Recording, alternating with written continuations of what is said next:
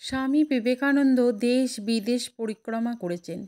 এই দীর্ঘ যাত্রাপথে মাঝে মাঝে অনবৃপিত কিছু ঘটনা ঘটেছে।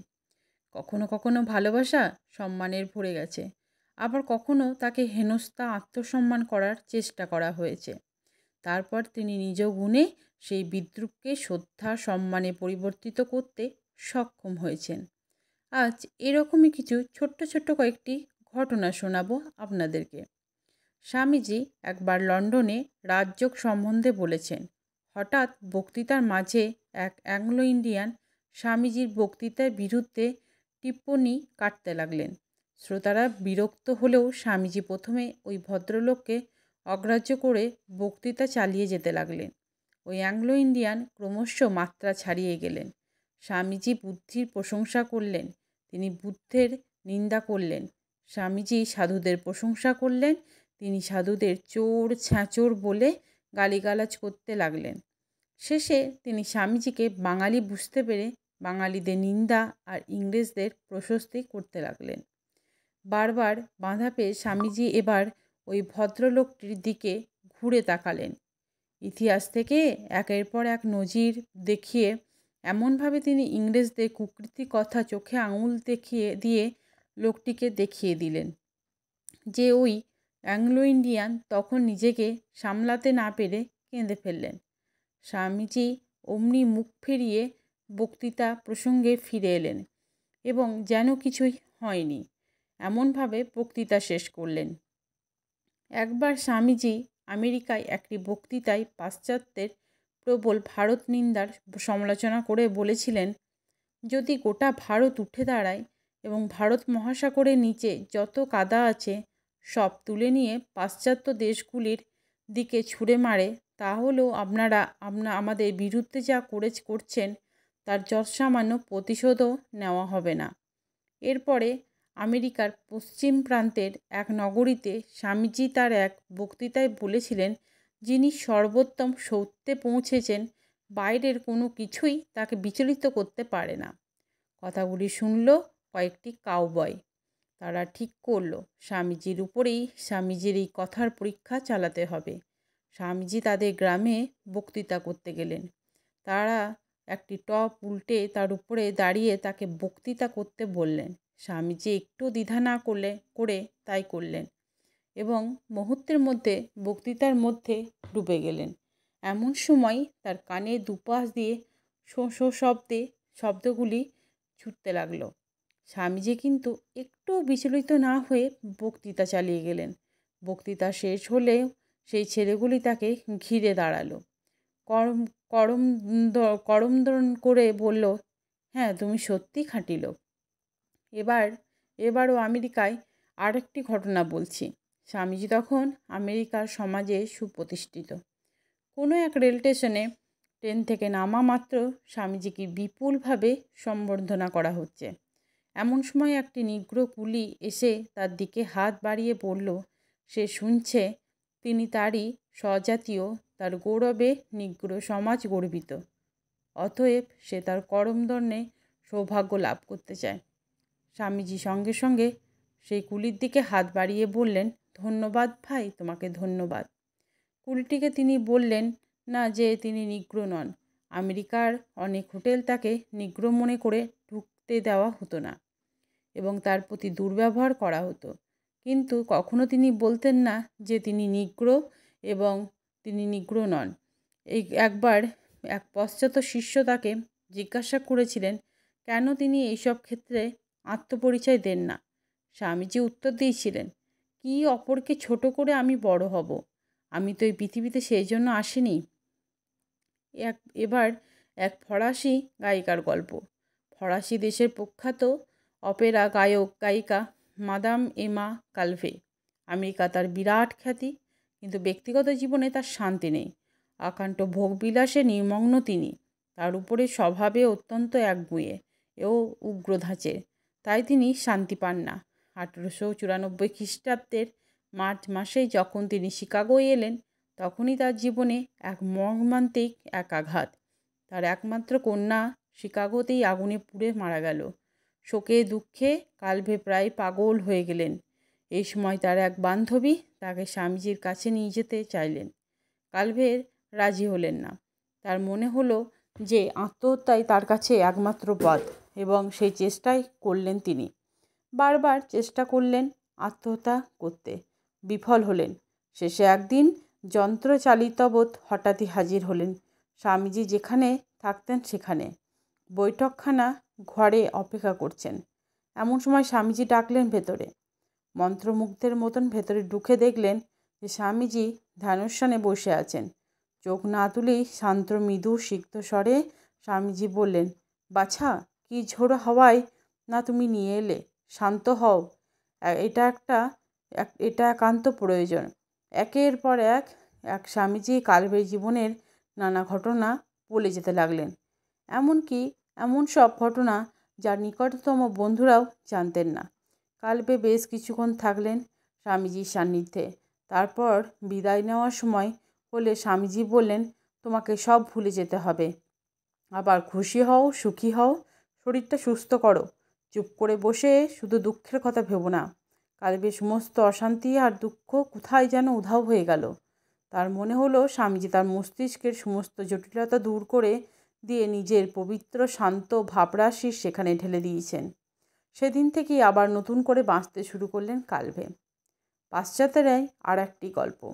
স্বামীজি দ্বিতীয় এবং শেষবারের মতন পাশ্চাত্যে এসেছেন। আমেরিকায় একদিন তিনি একটি নদীর ধারে বেড়াচ্ছেন। হঠাৎ চোখে পড়ল কয়েকটি যুবক সাঁকুর উপরে দাঁড়িয়ে জলে ভেসে থাকা কয়েকটি ডিমের খোলার দিকে গুলি গুলি ছুটছে। বারবার চেষ্টা করছে, কিন্তু একবারও পারছে না। দাঁড়িয়ে দেখতে দেখতে স্বামীজির মুখে মৃদু হাসি ফুটে উঠল। যুবকদের একজনের চোখে তার চোখে পড়ল। স্বামীজি চ্যালেঞ্জ করে সে বলল, কাজটা যতটা সহজ দেখাচ্ছে ততটা সহজ নয়। দেখি তো, আপনি কেমন পারেন?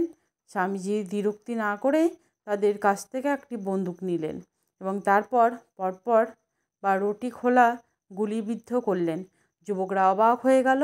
তারা ভাবলেন যে ইনি নিশ্চয় বহুদিন ধরে বন্দুক ছুটছেন। স্বামীজি তাদের বললেন, তিনি এর আগে কোনো দিন বন্দুকে হাত দেননি। তিনি যে লক্ষ্যবোধ করতে পারলেন, তার রহস্য হচ্ছে মনোসংযম।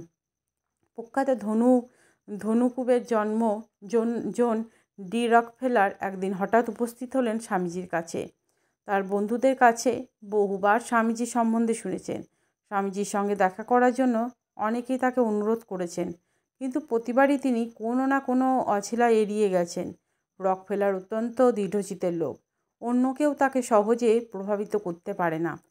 সেই তিনি একদিন গিয়ে হাজির হলেন স্বামীজি যে বাড়িতে আছেন সেখানে।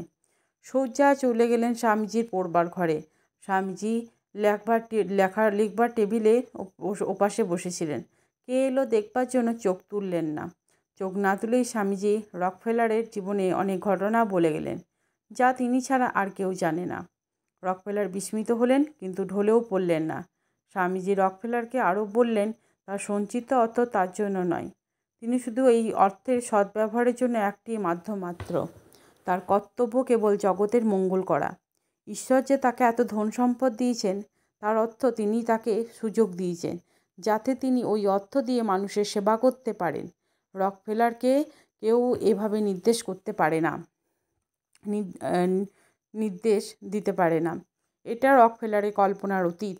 ভীষণ বিরক্ত হয়ে তিনি চলে গেলেন। একবার বিদায় সম্ভাষণেরও প্রয়োজন বোধ করলেন না। কিন্তু সপ্তাহখানেক পরে আবার এলেন রকফেলার। ঝড়ের মতন স্বামীজির ঘরে ঢুকে এবং স্বামীজি চোখের সামনে সেদিনের খবরের কাগজটা মেলে ধরলেন। তাতে খবর বের হয়েছিল জনসাধারণের একটি প্রতিষ্ঠানের জন্য রকফেলার বিপুল অর্থ দান করবার প্রতিশ্রুতি দিয়েছেন।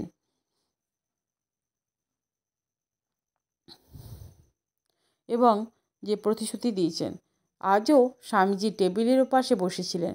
রকফেলার কাগজটি দেখিয়ে রুক্ষভাবে বললেন যে, এই নিন মশাই, এবার আপনি খুশি হবেন আর এর জন্য আপনি আমায় ধন্যবাদ দিতে পারেন স্বামীজি চোখ তুললেও না। একটু এবার আপনি খুশি হবেন আর এর জন্য আমি, আপনি আমায় ধন্যবাদ দিতে পারেন স্বামীজি চোখ তুললেন না, একটুও নড়লেন না। কাগজটা নিয়ে ধীরভাবে পড়ে বললেন, ধন্যবাদ তো আপনারই আমাকে দেওয়া উচিত। পরবর্তীকালে যিনি অসাধারণ দানবীর রূপে পরিচালিত হয়েছিলেন, সেই জন্য ডি রকফেলারের ডি রকফেলারের সর্বসাধারণের জন্য এটি প্রথম বরদান।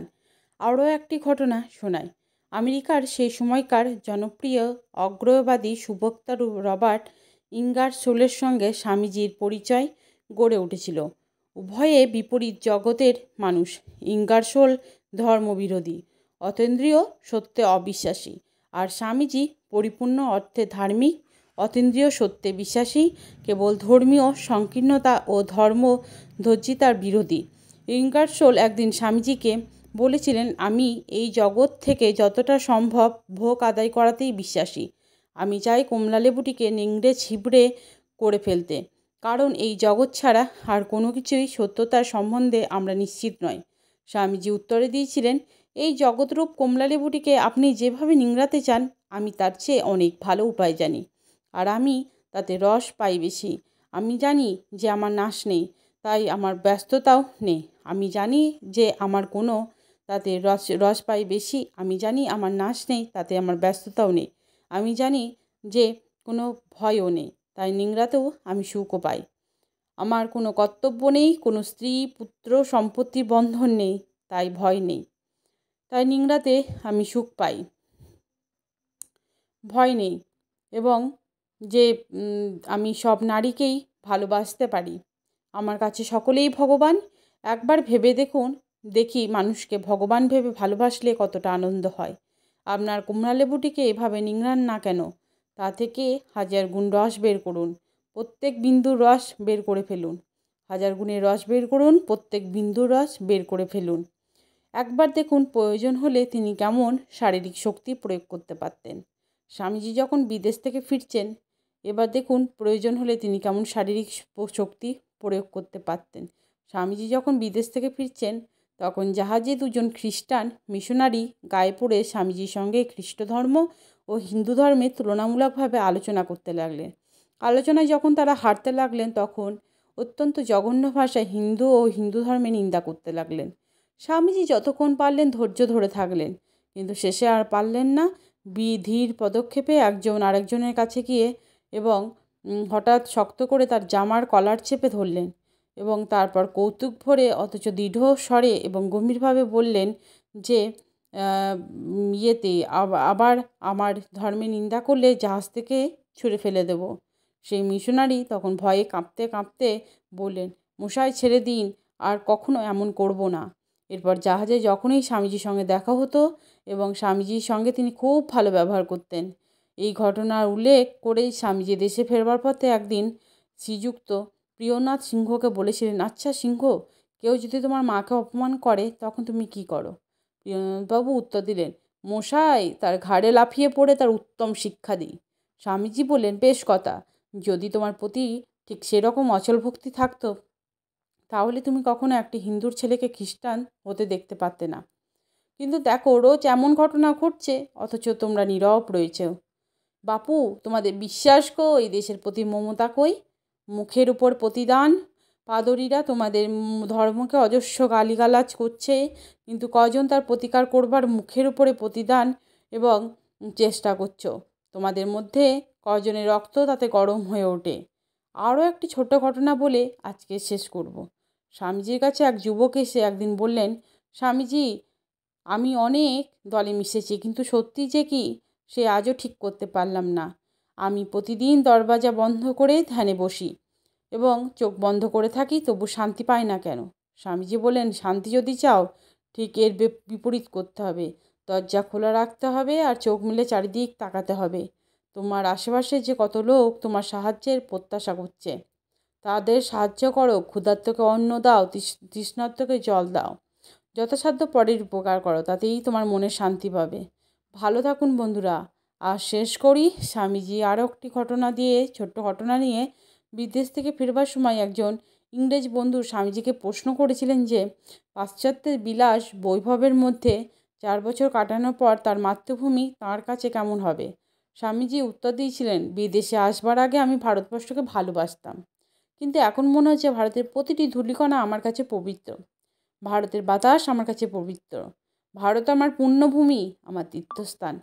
তো আজকে ভিডিওটা এখানে শেষ করছি। আশা করছি আপনাদের ভিডিওটা অনেক অনেক ভালো লাগবে। যদি ভালো লাগে প্লিজ চ্যানেলটিকে লাইক শেয়ার অ্যান্ড সাবস্ক্রাইব করে পাশে থাকবেন। এটাই আপনাদের কাছে একান্তভাবে অনুরোধ। তো আজকে ভিডিওটা এখানে শেষ করছি। সবাই সাবধানে, ভালো থাকবেন সুস্থ থাকবেন, সাবধানে থাকবেন। Bye bye.